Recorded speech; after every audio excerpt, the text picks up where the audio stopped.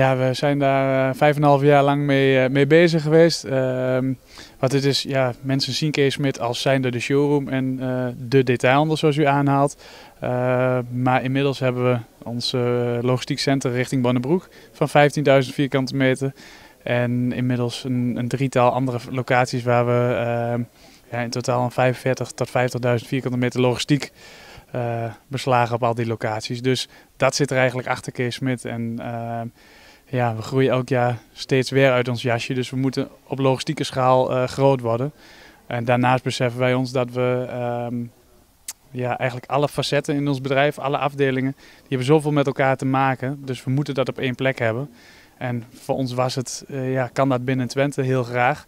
En anders moeten wij daarvoor uh, voor verder kijken.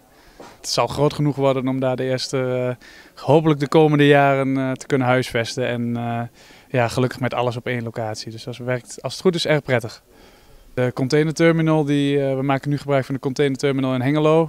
dan moet er nog steeds vervoer via de weg plaatsvinden. Met de hoeveelheid containers die wij doen is denk ik straks wel, wel prettig dat dat ja, vanuit, de, vanuit de haven in Almelo gewoon kan.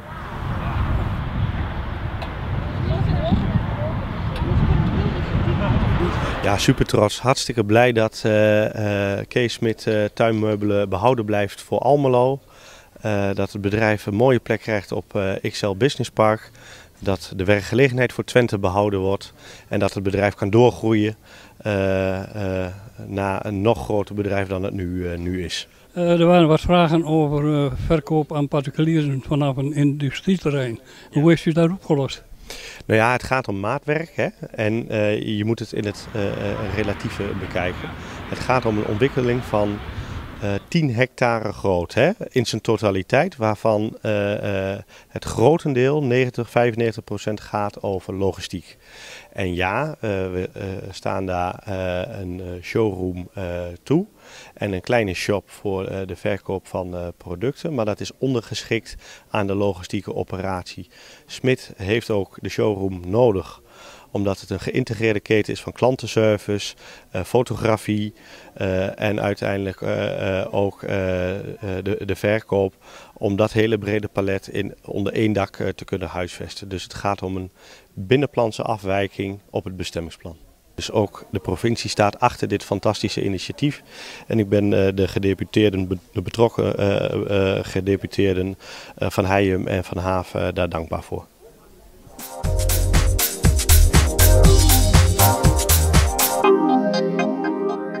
Ik sta hier bij drie mensen die de Almelopers een heel warm hart toedragen. In het midden staat hun teamcaptain die tien jaar lang teamcaptain is geweest, nu een, uh, het stokje wil overgeven aan twee anderen. Ik wil eerst even het woord geven aan Ben Kamphuis, hoe hij het vond om altijd teamcaptain te zijn.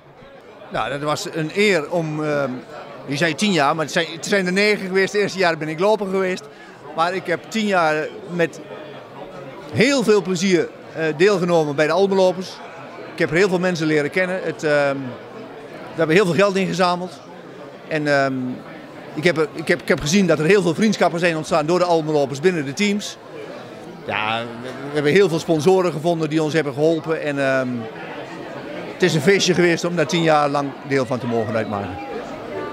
En nu vind je het goed om uh, een stokje over te dragen. En tenminste, dat begrijp ik.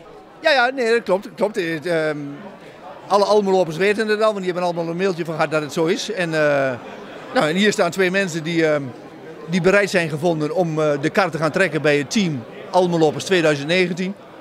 En uh, ik heb er alle vertrouwen in dat we dus gewoon een prachtig stukje continuïteit hebben en dat we voorlopig, nou ja, het werd net al genoemd in de film, ja dat staat niet op beeld, maar we hebben net een prachtige film gezien met daaronder de muziek van Ramses Shaffi, We zullen doorgaan.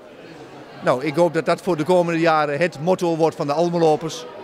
We zullen doorgaan, want er moet nog een hoop geld worden ingezameld, want er zijn nog een hoop mensen die ziek zijn door kanker die er niet zo fijn aan toe zijn. En als wij daar een klein beetje aan kunnen bijdragen, dat die mensen het net even wat beter krijgen.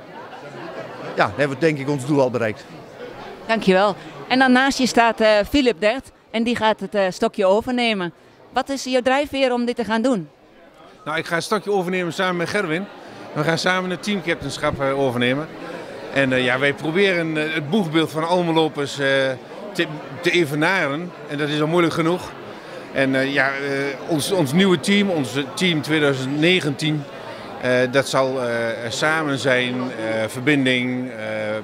weer proberen om heel veel geld bij elkaar te krijgen natuurlijk voor het goede doel, wat natuurlijk bovenaan staat. Het goede doel de Europa Run, palliatieve zorg. En daar proberen we geld bij elkaar te krijgen. En dan is het toetje de Europa Run. Maar dat is dat pas in juni. En dan zijn we nog lang niet. Want ook uh, Gerben Peper gaat zijn steentje bijdragen. Want jij gaat niet alleen als teamcaptain mee, maar ook als fietser. Hoe denk je dit te combineren? Uh, op de volgende manier. Philip en ik kennen elkaar al jaren. We kennen elkaar door en door. Het was uh, moeilijk om een opvolger te vinden voor Ben. jarenlang uitstekend gedaan. we hebben elkaar aangekeken. We kennen elkaar van het bestuur. over gehad. Philip wou het niet alleen doen. Ik heb gezegd, ja, maar ik wil toch gaan fietsen, want dat was vorig jaar toch super gaaf elkaar gekeken. Echt gezegd van, we gaan het samen doen. De hele voorbereiding tot aan de laatste dag doen we gewoon samen. Daar uh, heb ik veel vertrouwen in.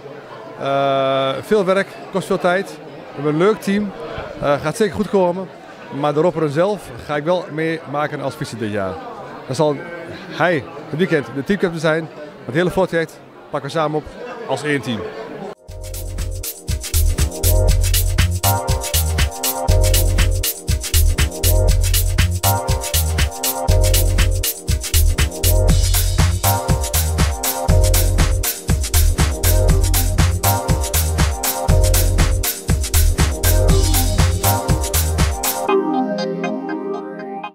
Bradley Koers, Curaçao, twee interlands. Hoe is het bevallen? Top, twee, twee winst en uh, twee grote winst. Dus uh, ja, goed gevoel, zeker. 10-0 en 5-0. Is het dan nog leuk? Het is altijd leuk om te voetballen. Dus uh, ik vind het altijd hartstikke leuk. Ja. Als je zo wint is het extra leuk, denk ik, toch? Ben je goed opgevangen in Curaçao door de bondscoach en ken jij de andere spelers? Ja, tuurlijk. Ik ken veel spelers waar ik tegen heb gespeeld en ik ben goed opgevangen. Goed gevoel, dus een heerlijk gevoel, ja. Goed, Christopher Patterson, het was voor jou de eerste keer. Hoe was het? Ja, het was leuk. Uh, goede ervaring voor mij. Uh, niet de beste wedstrijd voor mij, maar uh, ja, is, uh, als ik zeg, was een goede ervaring. Je was er de eerste wedstrijd niet bij en de tweede wedstrijd had je toch je invalbeurt. Ja, maar 10 minuten spelen en ik maakte een kleine fout. Zo uh, was Slovakia kunnen scoren. Er was niet de debuut als, als gewenst. Maar ja, het is een goede ervaring en als de winterstop komt, dan denk ik dat ik ben trots op, op dat mijn debuut maakt. Ben jij goed opgevangen in de groep en hoop jij op een volgende keer uitnodiging? Ah, uh, ja, de groep was uh, echt uh, fan fantastisch. ik, ik ken veel, veel jongens voor, de, voor, de, voor deze keer, maar ik hoop zeker voor, dat ik, ik kan volgende keer spelen met, met de selectie van Zweden. Maar ja, mijn focus is hier nu en ik weet als ja, ik moet presteren hier voor een kans in de, in de selectie van Zweden. Zijn jullie trots op het feit dat je international bent? Tuurlijk, tuurlijk ben je trots. Uh, het is iets wat je, wat je, waar, je, waar je voor droomt, waar je droomt over. En als het, als het uitkomt en je speelt, ja, dan ben je natuurlijk uh, hartstikke blij. Maar vooral ik als persoon kijk nu naar Christopher en ik zie gewoon dat hij voor het Zweedse nationale team kan uitkomen. Dat vind ik hartstikke mooi. En ik, ik, ik, vind, ik, ik vind ook dat hij dit echt heeft verdiend, nadat hij heeft laten zien. En uh, ik hoop dat hij zo doorgaat, want dit is pas het begin voor hem en hij kan heel veel meer. Is het niet bijzonder voor een club als Heracles dat ze drie internationals hebben? Ja, tuurlijk. Maar dat, dat laat ook zien dat je als team heel goed presteert. En dat je, dat je, dat je, je kwaliteiten naar boven kunnen komen. En dat je dan voor, uh, voor je land kan uitkomen. Ja. Jongens, ik wens jullie heel veel succes in jullie beide interlandcarrière. Dank je wel.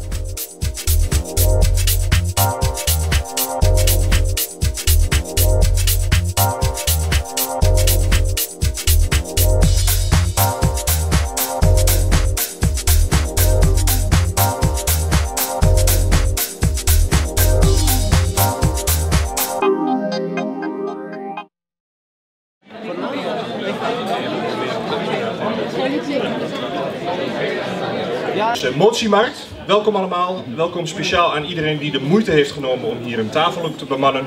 En iedereen die anderszins uh, hierbij aanwezig is omdat ze simpelweg geïnteresseerd zijn. Is natuurlijk ook hartstikke fijn. Er zijn 15 tafels met initiatieven. Dat zijn ongeveer 15, volgens mij zijn het er ietsjes meer. Met uh, verschillende uh, initiatieven. Het is de bedoeling dat de raadsleden die hier aanwezig zijn zelf gaan shoppen. We kunnen zelf bij iedere tafel langs om te vragen wat het initiatief is. En daarvoor eh, krijgt u ook een briefje mee, die heeft u bij binnenkomst gekregen. Die briefjes kunt u invullen en als u daar wat verder mee wilt, dan kunt u die vervolgens weer inleveren. Maar goed, uh, ik heb daar zelf geen. Uh, ja, er zijn uh, mensen voor die dat heel goed kunnen. En omdat er begonnen is met het ontwikkelen van een grondkabel, hoogspanningsgrondkabel, tussen Hengelo, Weidewegstation en de Mosterport in Almelo. Het is zo jammer dat Tennet dan daar slechts één grondkabel in legt. Als ze daar twee grondkabels in zouden leggen, zouden de hoogspanningsmasten in Almelo allemaal kunnen verdwijnen. De kabel die kost geld. Uh, 75% wil Tennet betalen, 25% leggen ze neer bij gemeenten. Waar een, ja, een heel groot gedeelte teruggehaald kan worden op basis van subsidies en dergelijke. Het neer is, uh, zouden een behoorlijk aantal huizen extra gebouwd kunnen worden op de grond die vrijkomt onder de hoogspanningsmasten. Maar dat is niet alleen de wijk het Neer is. Er zijn ook diverse stukken industrieterrein waar ook ruimte vrijkomt, eventueel voor bebouwing. Dus de gemeente die kan daar ook de bouwgrond van verkopen.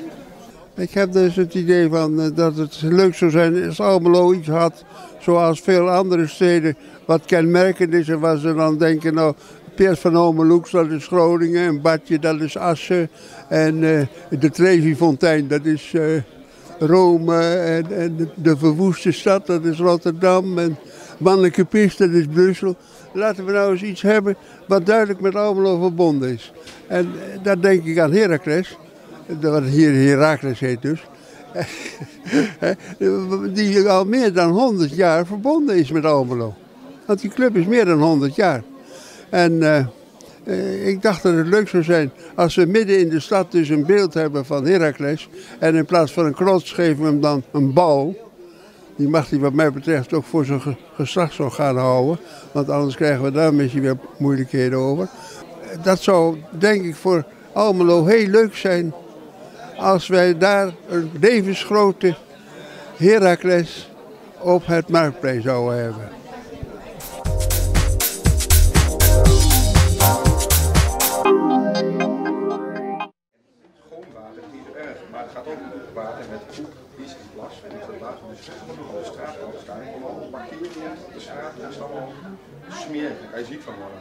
De week uh, van het water uh, deze week en ook volgende week uh, nog. Water is gewoon een heel belangrijk, belangrijk thema. En het is goed dat de jeugd kennis maakt met ook alles wat er onder de grond gebeurt. Want iedereen wil droge voeten houden. tegelijkertijd ehm, maakt onbekend ook, ook onbemind. Hè. Dus in mijn korte toespraak net had ik het er ook al over van weten jullie wat er gebeurt als je de wc doortrekt bijvoorbeeld. En, nou, er zit best wel wat, wat onbekendheid en het is ook gewoon goed om op een leuke en laagdrempelige manier hier in het Huis van Katoenen nu, wat ook gewoon, waar iedereen binnen kan lopen om om kennis te maken met wat er hier aan de tentoonstelling staat.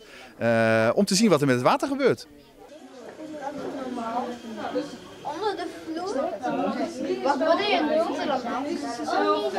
Ja, onder de vloer, het is één vraag. Hè. Wel overal zit grondwater. Hier zit ook grondwater. Ja, wij willen graag werken aan uh, jong geleerd is oud gedaan. En we hebben het idee, de educatie voor, uh, voor zeg maar jongeren, dat dat ons helpt voor de riolering. Uh, ja, de kinderen gaan ermee naar huis, gaan erover praten, zeg maar, vertellen er wat over. Nou, het is ook een mooi, mooie tentoonstelling om, om, ook voor andere mensen, om gewoon te zien wat er allemaal onder de grond zit. We hebben uh, iets van 350 miljoen hebben onder de grond liggen. Wat heel veel mensen helemaal niet weten. En ja, je kunt het gewoon hier ook zien. Ja, waar gaat het over? Waar doen we het voor? Dus ja. Want wat, wat kunnen de kinderen en wat kunnen mensen hier gaan beleven of gaan zien of gaan doen?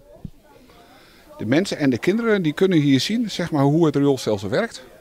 Ja, je kunt een spel doen. Hier de, zeg maar, de jongens zijn hiermee bezig. Zijn aan het kijken van, of de buizen zijn aangetast. Dat kun je zien kunt iets zien van ratten. Ik moet het zelf ook nog even ontdekken. Het is een rioolst, en zeg maar een uh, tentoonstelling door, die door RioNet uh, ter beschikking wordt gesteld. Die kun je als gemeente inhuren. Nou, dat leek ons hartstikke goed idee om dat hier te doen. Een mooie locatie hier, dus ja. Ik denk dat, ik zou iedereen zeggen van kom hier langs.